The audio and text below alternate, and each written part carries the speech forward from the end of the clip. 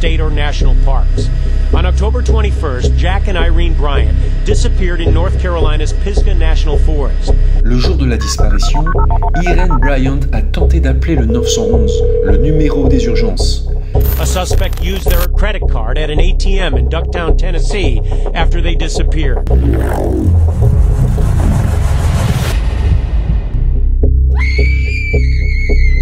Et cet homme, cette personne a vraiment une apparence euh, et un peu effrayante, il faut dire.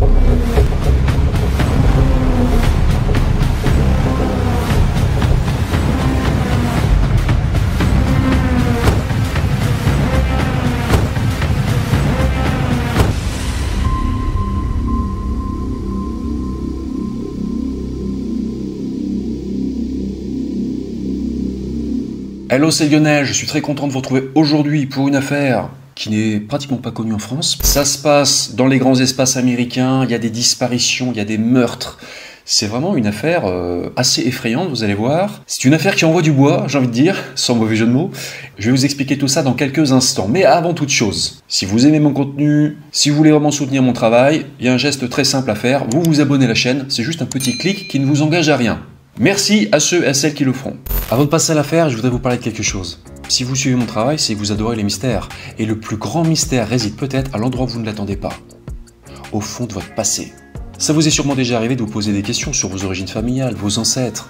MyHeritage peut vous apporter des réponses. MyHeritage est le meilleur service mondial pour la recherche de l'histoire familiale. Grâce à sa technologie de pointe, vous pouvez construire rapidement et facilement votre arbre généalogique. Avant, c'était compliqué, pas très fun. Avec MyHeritage, c'est tout le contraire. Vous n'avez qu'à ajouter les noms de vos parents, grands-parents, leur date de naissance. C'est super facile à faire. Le site a un moteur de recherche très puissant qui vous aide à retrouver les membres de votre famille. C'est simple et amusant. Il y a vraiment un côté ludique. hein. En fait, c'est un peu comme si on faisait une enquête. hein.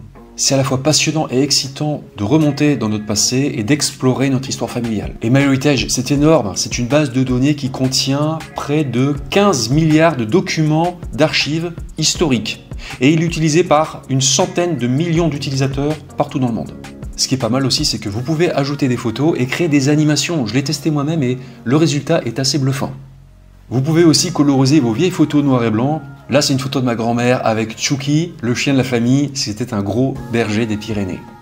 MyHeritage vous propose de faire encore plein d'autres choses géniales et vous pouvez même le faire en famille, hein, c'est encore plus sympa.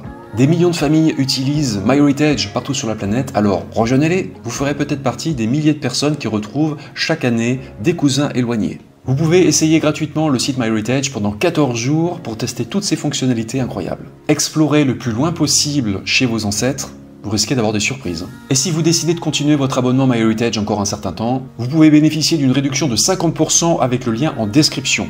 Alors, foncez Donc on va partir aux États-Unis, plus particulièrement dans la forêt nationale de Pisgah, à l'ouest de l'État de Caroline du Nord. Située dans les Appalaches, cette forêt est vaste et sauvage. Le dimanche 21 octobre 2007, John et Irene Bryant, âgés respectivement de 80 et 84 ans, ont justement envie de faire une balade en forêt. Ils font régulièrement de la randonnée dans les bois et c'est ce qu'ils comptent faire ce jour-là.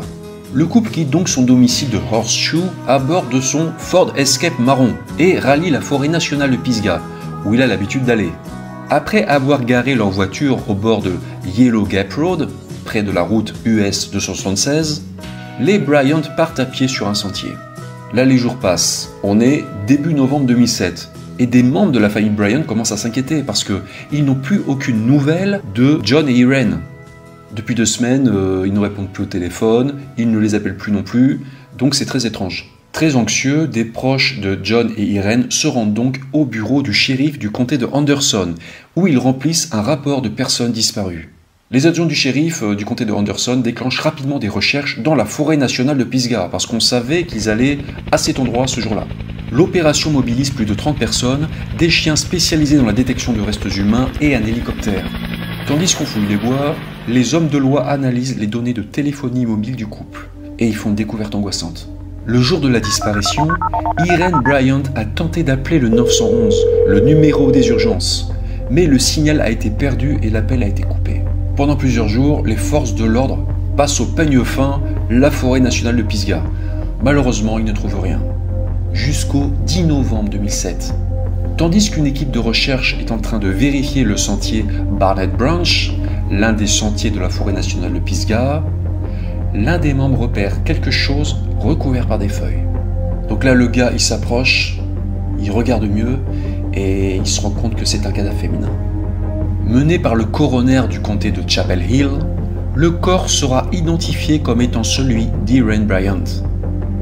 L'autopsie révèle qu'elle a été matraquée à mort avec un objet contondant.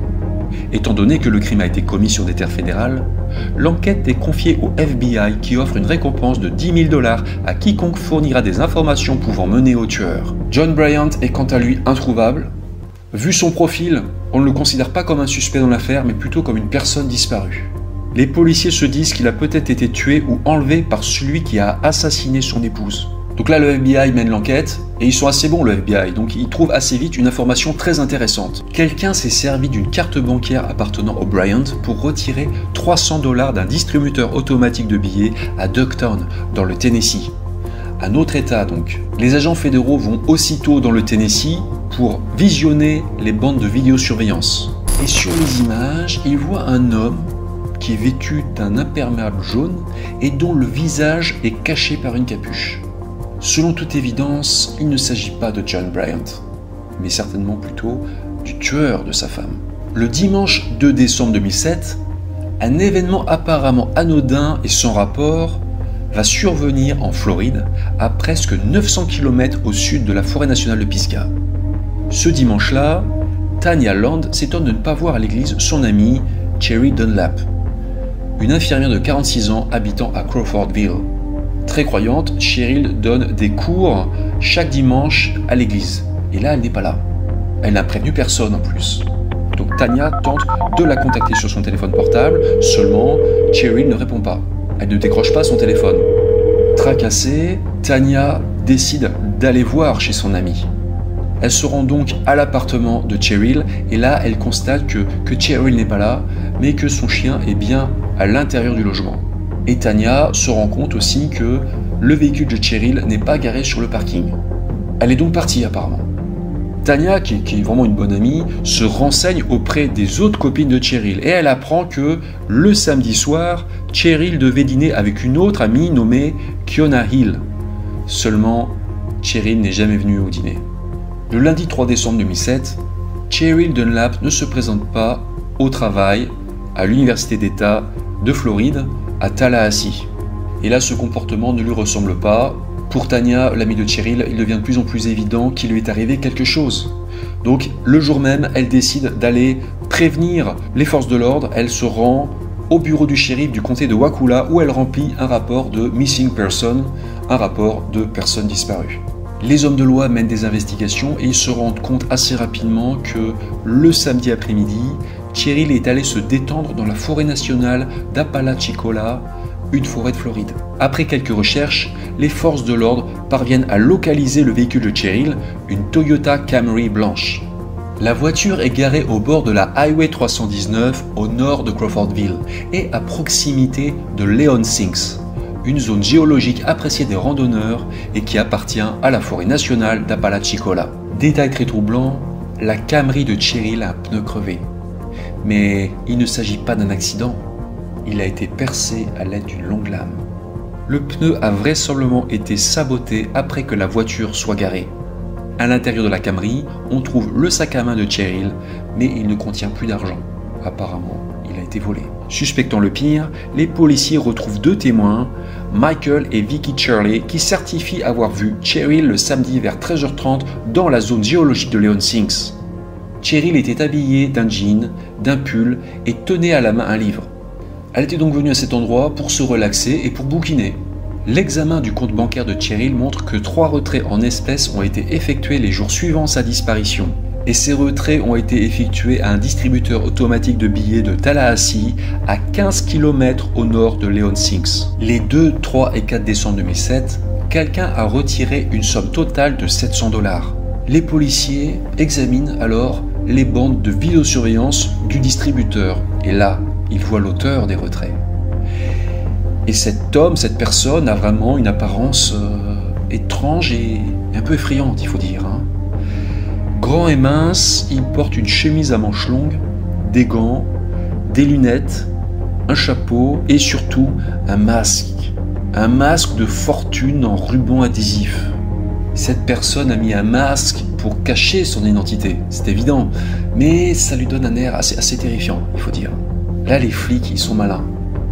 Ils savent que l'inconnu a fait plusieurs retraits, et ils se disent qu'il va peut-être revenir. Donc, ils placent sous surveillance le distributeur automatique. Ils attendent plusieurs jours. Malheureusement, l'inconnu ne revient pas. Il est certainement rusé lui aussi. Pendant ce temps, on continue de chercher activement Cheryl dans les bois. Près de 180 personnes arpentent les sentiers, sans succès malheureusement. Le 16 décembre 2007, deux semaines après la disparition de Cheryl, un homme nommé Ronnie Renz fait une partie de chasse et cette partie de chasse le hantera jusqu'à la fin de ses jours. Tandis qu'il traque le gibier avec ses chiens, il trouve par hasard le cadavre d'une femme blanche en état de décomposition elle a été sauvagement mutilée. Elle n'a plus ses mains ni sa tête, qui ont été apparemment emportées. Rennes compose tout de suite le 911, le numéro des urgences. Des analyses ADN vont vite permettre de confirmer l'identité de la victime. On a enfin retrouvé Cheryl Dunlap. Qualifiant la mort de Cheryl d'homicide, les forces de l'ordre annoncent dans les médias qu'ils recherchent une camionnette suspecte. Une camionnette de couleur verte qui aurait été aperçue dans le secteur au moment de la disparition de Cheryl et l'homme ayant utilisé à cinq reprises la carte bancaire de Cheryl avait lui aussi une camionnette verte. Suite à l'appel à témoins, les témoignages affluent les jours suivants. Plusieurs témoins indiquent avoir remarqué un étrange sans-abri avec un chien au volant d'un Chevrolet Astro vert. Cette piste paraît très crédible. Malheureusement, elle ne conduira à aucune arrestation. Fin décembre 2007, ce sont les fêtes de fin d'année et les deux affaires, celle des époux Bryant et celle de Cherry Dunlap, sont un peu au point mort. Il n'y a pas d'avancée notable dans les enquêtes. Nous sommes maintenant le 1er janvier 2008 et on est dans un autre état, celui de Géorgie. Le jour du nouvel an 2008, Meredith Emerson, une étudiante brillante de 24 ans qui vit à Bufford, a envie de faire une randonnée pour bien démarrer l'année. Elle a un petit ami, mais ce jour-là, elle veut marcher seule. Euh, le petit ami n'est pas forcément disponible, donc elle part se balader dans la nature, elle informe juste sa colocataire et elle grimpe à bord de sa voiture, une Chevrolet Cavalier de 1995. Elle grimpe à bord de son véhicule et elle prend la direction du parc d'État de Vogel situé au pied de Blood Mountain, dans la forêt nationale de Chattahoochee. Meredith a emmené ce jour-là sa chienne, elle a un mélange de labrador et de retriever noir. Malheureusement, lorsque le soleil se couche, euh, Meredith ne rentre pas chez elle. Sa colocataire, qui est un peu inquiète, appelle son petit ami pour l'informer de la situation. Et ce dernier prévient la police. Les autorités remontent facilement la trace de l'étudiante jusqu'au parc d'État de Vogel. Le 3 janvier 2008, la Chevrolet Cavalier de Meredith est localisée sur un parking au sud du parc d'État de Vogel, non loin du départ du Freeman Trail un sentier de promenade à la journée qui rejoint le mythique sentier des Appalaches. Le bureau du shérif lance une mission de sauvetage avec l'aide des services de secours locaux. Un hélicoptère est envoyé sur le site pour tenter de repérer depuis le ciel la jeune femme. Malheureusement, tous ces efforts ne donneront rien. C'est comme si Meredith s'était volatilisée au cours de sa randonnée. Le Georgia Bureau of Investigation vient apporter son soutien. En effet, les enquêteurs doutent vraiment du fait que Meredith se soit perdue. Pour eux, euh, elle a sûrement été enlevée. En effet, on a retrouvé près d'un sentier ce qui ressemble à une zone de lutte. Des bouteilles d'eau, une laisse en cuir appartenant à Meredith et une matraque de police. Le 4 janvier 2008, les forces de l'ordre lancent un appel à témoins et plusieurs randonneurs présents dans le parc d'État de Vogel le jour de la disparition de Meredith rapportent une information potentiellement cruciale. Ils auraient observé ce jour-là sur le sentier un mystérieux homme aux cheveux gris. Dans la soixantaine, l'individu qui possédait lui aussi un chien aurait même été aperçu à proximité de Meredith. Des investigations plus approfondies permettent d'identifier ce suspect. C'est un vagabond du coin nommé Gary Michael Hilton. Âgé de 61 ans, Hilton est un ancien militaire. Le vétéran promène souvent son chien, Dandy, sur le Freeman Trail. Et il n'a pas très bonne réputation. D'un tempérament vicieux, il est connu pour son comportement bizarre. Dès lors, la police annonce officiellement que Gary Michael Hilton est considéré comme une personne d'intérêt dans cette affaire. Le 5 janvier 2008, Meredith ne donne toujours aucun signe de vie, mais il y a un rebondissement. Là, sa chienne est retrouvée en train d'errer seule sur le parking d'un supermarché Kroger de Cumming, à 80 km au sud du parc d'État de Vogel. Le même jour, on fait des découvertes angoissantes à Cumming. De nombreux objets appartenant à Meredith sont récupérés dans une benne à près d'un parking Quick Trip. On trouve son portefeuille, son permis de conduire, une carte de l'université de Georgie et surtout des vêtements et une sécure de sécurité de voiture ensanglantée. Là, il n'y a plus de doute possible. Le pire est arrivé. Là, tout s'accélère. La police met le paquet. Il y a vraiment beaucoup de patrouilles qui recherchent le suspect. Et il est finalement repéré dans une station-service. Gary Michael Hilton est arrêté dans une station-service alors qu'il essaye de nettoyer son véhicule. Un van Chevrolet Astro blanc avec une plaque d'immatriculation de Géorgie. 766 XPZ. Faisant l'objet d'un long interrogatoire, Hilton finit par reconnaître les faits. Il avoue aux enquêteurs avoir tué Meredith et il leur promet de leur dire où il a caché son corps s'il le protège de la peine capitale.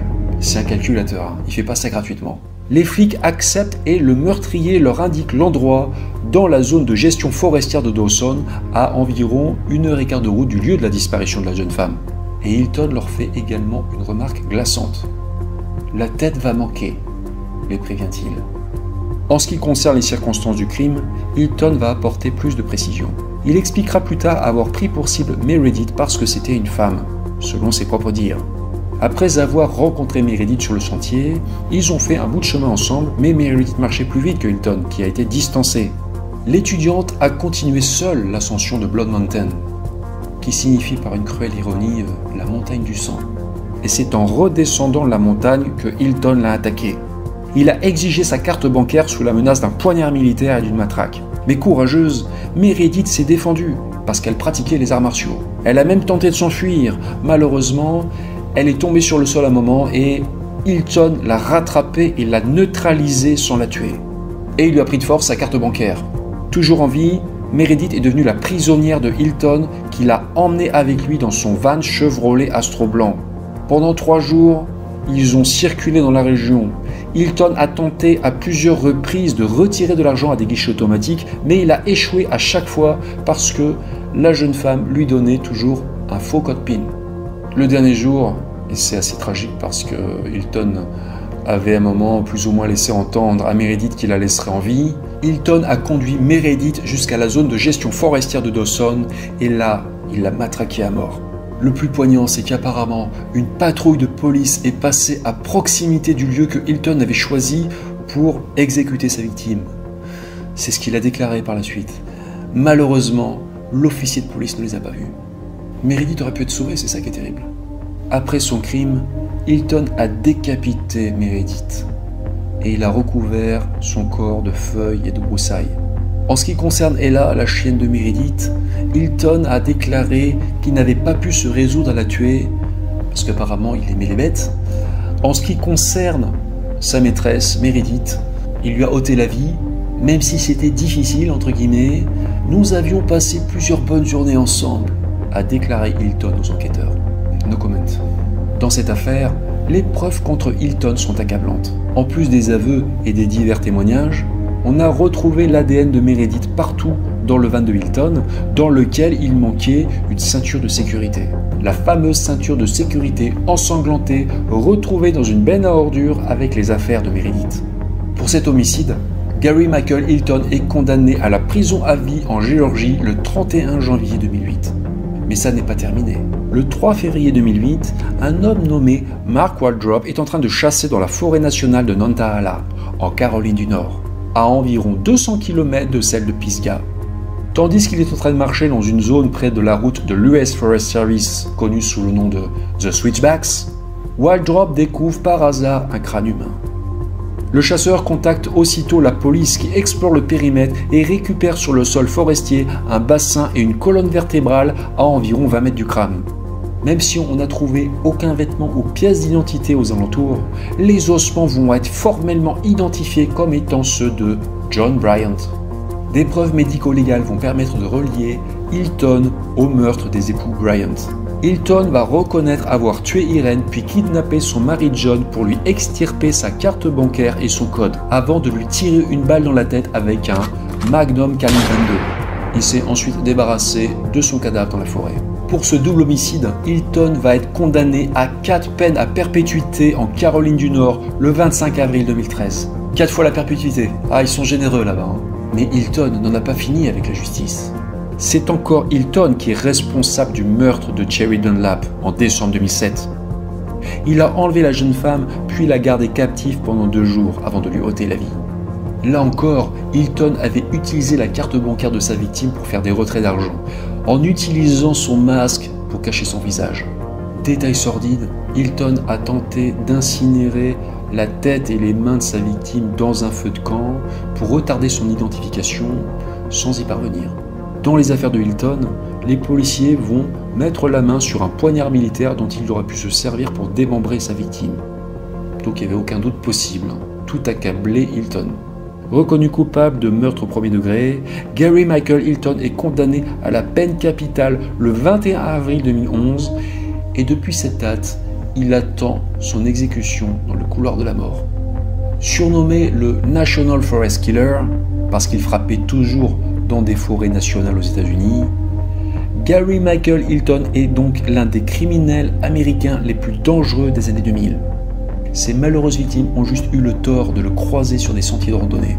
Mais nous allons voir que Hilton est soupçonné dans d'autres affaires de disparitions mystérieuses et de meurtres irrésolus aux États-Unis. Effectivement, Hilton avait 61 ans lors de son premier crime officiellement reconnu, celui de Jerry Dunlap. Des profilers ont émis de sérieux doutes sur le fait que Hilton ait commencé à tuer à un âge aussi avancé. Ça n'était sûrement pas un coup d'essai. Comme vous le savez sûrement, je suis fan de cinéma. Et là, il y a une anecdote qui est quand même assez rare pour être soulignée. Hilton a été consultant sur le tournage d'un film nommé Deadly Run, un film de 1995 réalisé par Mark Bender. Et ce film, et ça, ça s'invente pas, racontait l'histoire d'un serial killer qui traque et tue des femmes dans la nature. C'est comme une sacrée coïncidence. À moins que ça n'en soit pas une. Hilton avait 49 ans au moment du tournage de ce film, et c'était 12 ans avant son premier meurtre officiel. Nous reparlerons de cette anecdote un peu plus tard. Comme je vous le disais, on soupçonne Hilton d'être responsable d'autres disparitions mystérieuses et meurtres irrésolus aux États-Unis. On va maintenant les passer en revue. Le 7 septembre 1997, des ossements humains et objets personnels ont été retrouvés près d'un terrain de camping dans la forêt nationale de Pisgah. Après examen, les restes ont été identifiés comme étant ceux de Judy Smith, une femme de 51 ans originaire du Massachusetts et vue pour la dernière fois 5 mois plus tôt à Philadelphie, où elle visitait la ville. Hilton est considéré comme un suspect dans cette affaire parce qu'il a tué John et Erin Bryant dans cette même forêt nationale de Pisgah, dix ans plus tôt, presque au mois près. Seulement, les enquêteurs n'ont trouvé aucune preuve reliant Hilton à Judy Smith. Le 12 avril 1998, Jason Knapp, un étudiant de 20 ans inscrit à l'université Clemson, a disparu alors qu'il faisait un jogging dans le parc d'État de Table Rock, dans le comté de Pickens, en Caroline du Sud. De multiples recherches menées par la police et surtout la famille de Jason sont restées infructueuses. L'étudiant a été déclaré légalement décédé en 2018. En raison de sa ressemblance avec ses autres crimes connus, l'ombre de Hilton plane sur la disparition de Jason. On a suspecté Hilton dans cette affaire, mais il a toujours tout nié en bloc. Signalons parce que c'est amusant de créer des liens entre les vidéos, et puis ça montre qu'il y a peut-être aussi une certaine cohérence dans ce que je fais, que j'ai déjà parlé de l'affaire Jason Knapp dans une autre vidéo. C'était une vidéo sur l'affaire de la disparition d'Eloise Lindsay, traquée dans les bois. Si vous n'avez pas vu cette vidéo, je vous invite à la découvrir en cliquant sur le lien qui s'affiche en haut de l'écran. Il reste encore une affaire un cold case, c'est-à-dire une affaire non élucidée, sur laquelle plane l'ombre de Hilton. En juillet 2005, Rosanna Miliani, une femme de 29 ans originaire de Floride, était en vacances à Cherokee, en Caroline du Nord. Depuis cette date, Rosanna n'a plus jamais donné de signe de vie. On suspecte Hilton dans ce dossier parce que la jeune femme aurait été vue avant de disparaître dans un magasin de Bryson City en Caroline du Nord en compagnie d'un homme blanc dans la soixantaine et les tempes grisonnantes. Tous les deux ont racheté des sacs à dos et Rosanna paraissait nerveuse selon le vendeur. Un croquis du suspect a été réalisé et il ressemble beaucoup à Hilton. Malheureusement, la justice n'a jamais réussi à prouver son implication dans la disparition de Rosanna. En 2022, Gary Michael Hilton est toujours en train d'attendre son exécution dans une prison d'État de Floride. Voilà pour les faits, chers spectateurs, mais ne partez pas, ça n'est pas terminé. Nous allons passer maintenant à la partie commentaires et analyse. On va parler de cette affaire, on va parler de Gary Michael Hilton, le National Forest Killer, qui n'est pas très connu dans le monde francophone.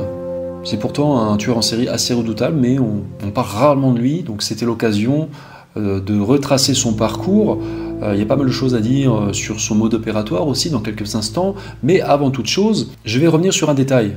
Je suis sûr que certains d'entre vous, parce que vous êtes assez malins, ont remarqué que dans l'affaire Cherry Dunlap, mi-décembre 2007, les témoins avaient indiqué que le véhicule du suspect était un Chevrolet Astro vert. Or, le 5 janvier 2008, lors de son arrestation dans le cadre de l'affaire Meredith Emerson, le van de Gary Michael Hilton était un Chevrolet Astro de couleur blanche. On pourrait donc penser qu'il y a une certaine incohérence, que Hilton est peut-être innocent. Mais bon, non, je pense qu'il y a une explication. À mon avis, euh, Hilton a tout simplement repeint son véhicule entre-temps pour mieux échapper aux forces de l'ordre. Enfin, ça n'est qu'une supposition de ma part, je n'ai pas eu confirmation de cette information. On va parler un petit peu quand même de la vie de Hilton, pour être complet. Hilton euh, a, semble-t-il, eu une enfance difficile. Il aurait été maltraité étant enfant par son beau-père. C'est assez classique chez les tueurs en série, même si ça ne les excuse en rien, attention. À l'âge de 17 ans, Hilton s'est engagé dans l'armée. Il est resté 3 ans dans l'armée parce qu'il a été diagnostiqué schizophrène. Il entendait des voix apparemment. Par la suite, il a travaillé dans le civil, hein. il a vécu une vie à peu près normale, il a travaillé notamment comme chauffeur, mais il n'a jamais vraiment eu d'emploi stable. En ce qui concerne la vie familiale de Hilton, elle a été plutôt chaotique. Il s'est marié au moins trois fois. La vie privée de, Hilton a été chaotique, mais bon, ça c'est malheureusement euh, c'est le lot de pas mal de personnes. Hein. Dans les années 1980 et 90, Hilton a commis un certain nombre de petits délits vol, possession de marijuana, port d'armes sans permis, Hilton avait donc un casier judiciaire, mais il n'avait rien commis de gravissime quand même. Rien ne laissait présager des actes terribles qu'il allait commettre plus tard.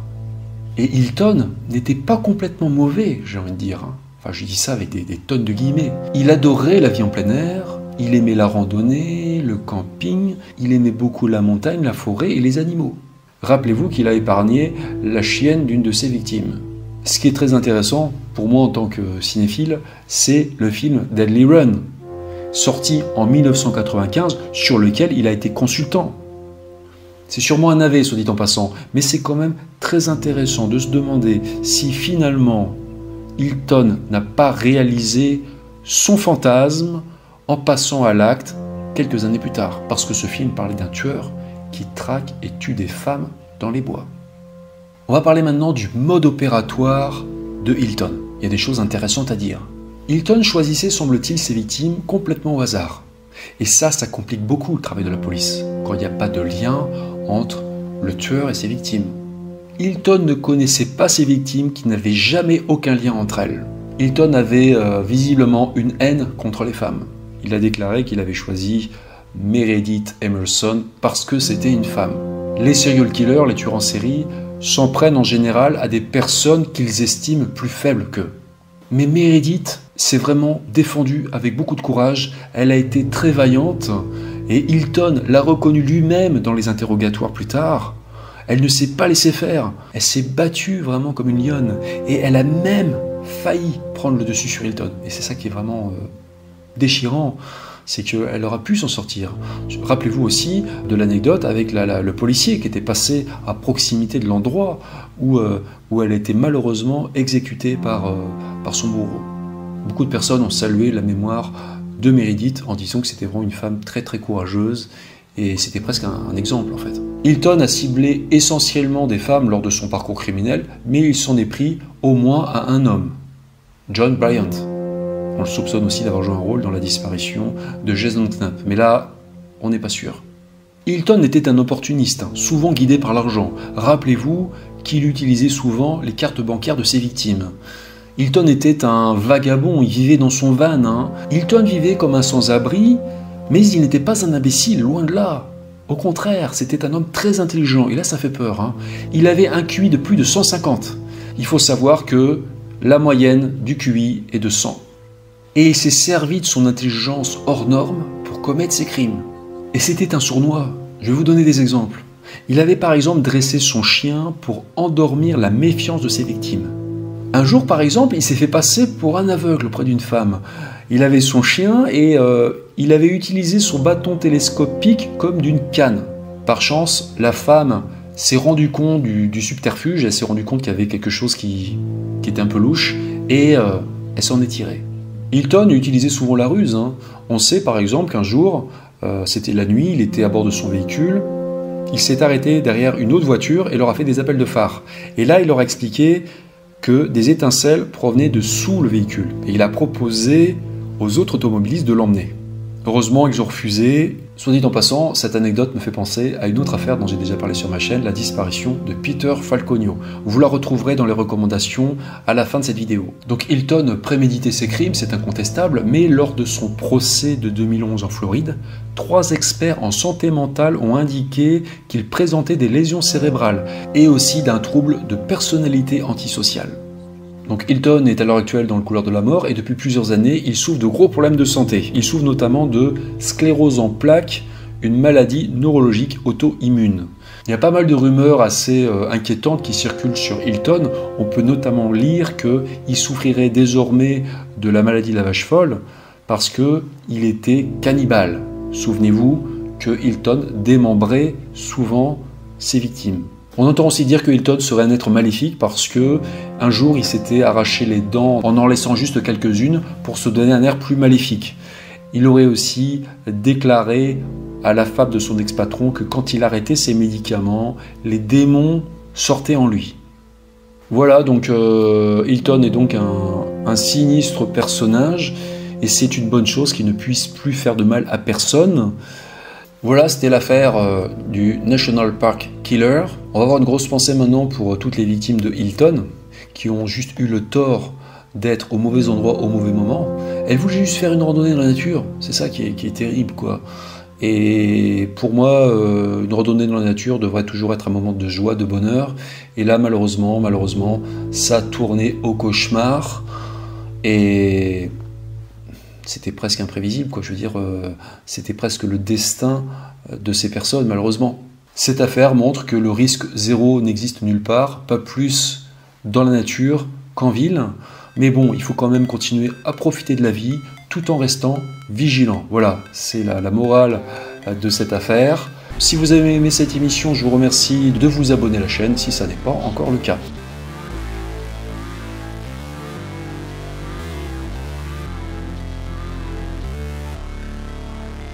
Merci à MyHeritage d'avoir sponsorisé cette vidéo. N'hésitez pas à tester le site. Vous pouvez l'utiliser en mode full accès pendant 14 jours et bénéficier ensuite d'une réduction de 50% en utilisant le lien dans la description de cette vidéo. Moi je vous dis à bientôt pour de nouveaux mystères et en attendant, ne disparaissez pas.